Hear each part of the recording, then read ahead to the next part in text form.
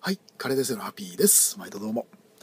献本が来ます。毎月献本ってのが来ますね。はい、えー、これですね。はい、ぶんか社さんから僕のとこに。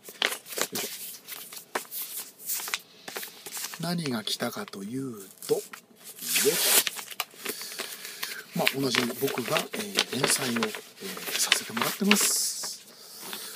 エキサイティングマックス、えー男性誌ですね。えーこれのね、うんと、よいしょ。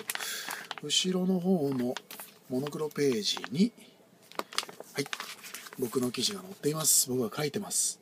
それでもカレーは食べ物である。今回はね、えーと、なんだっけ。